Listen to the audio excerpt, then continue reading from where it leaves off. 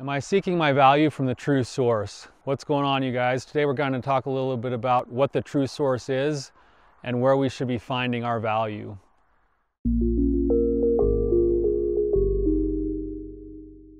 Hey guys, I'm Tyler, your wandering therapist. I'm excited to be here with you today. I just got back from a trip to Hawaii and now I'm standing in four inches of snow.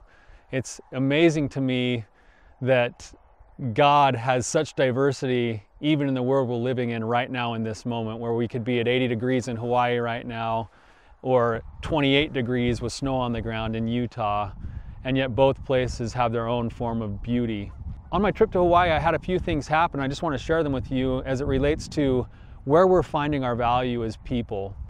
Uh, most of us know that the right answer is, is that we shouldn't find our value from what other people think about us, and yet that's one of the hardest things that we find ourselves battling with over and over and over again. Whether it's comparing ourselves with the neighbor and keeping up with the Joneses, or whether it's being worried about what our partner thinks of us, or what our parents think of us, or whether or not my dad told me that I was good enough. All of those things are constantly in our faces. We live in a world that has you comparing yourself to everyone else around you so that you'll feel bad about yourself in order to buy products that will make you feel better about yourself or be better than somebody else. And when we find ourselves in that rat race, it becomes this miserable thing where we never actually get the feeling of satisfaction of knowing who we are. I went on this drive while I was in Hawaii. I went on this drive. It was about a, a 45 minute drive up a single lane road all the way to the top of a volcano.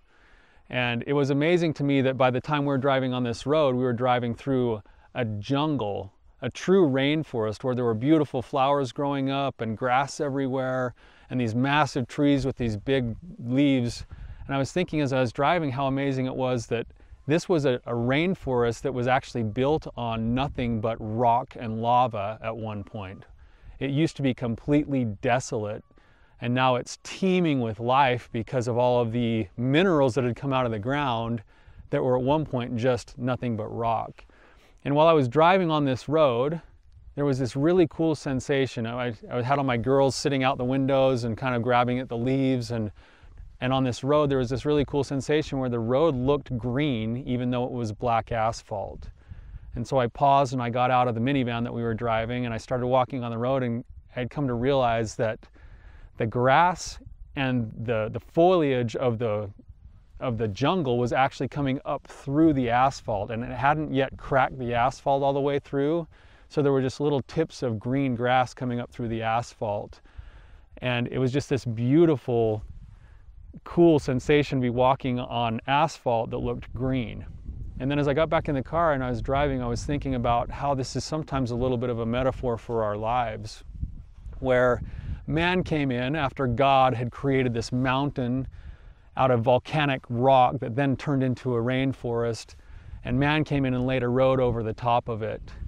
And how we were trusting on this road that man had built, when in reality, that road meant nothing and that God could wipe it out at any point in any way that He wanted to, whether that would be through flood or whether that would be through the rainforest growing up through the actual asphalt or maybe another volcanic eruption and that we often rely on the power of man thinking that that's our stable ground when in reality accepting God and his will and who he is is the actual place where we can find I know it sounds crazy because it feels unstable, that that's where we find our value in trusting God to be God and who He is. That He's going to have this wild and crazy and passionate way of demonstrating who he is, whether that's through the volcanoes or the jungle or the trees or the plants. And if we can accept that, we can also accept that God created us in the same way, that we're a constant work in progress, that there's going to be constant growth, that that growth is actually not going to stop. And if we can see ourselves as a work in progress, it allows us to connect to God and it allows us to get our answers from God that we are a continual work in progress. And it gives us permission to now go into the world and not be perfect and not have everything right and not be absolutely beautiful or have the right kind of makeup or the right car to drive. None of that matters in the big picture. When we submitted ourselves to God and accepted that all He wants from us is to be a work in progress. So, something to think about today. If there's something that you guys are struggling with, I'd encourage you to take that to God and not to man. Don't place it on the asphalt that's going to be broken up eventually by the power of nature. Take it to the true source. You guys have an awesome day. Thank you so much for being here with me. If you found this to be valuable for you, please hit the like and subscribe button. If you're facing particular struggles that you need help with or roadblocks that you're running into, please submit a question. I'd be happy to answer it for you.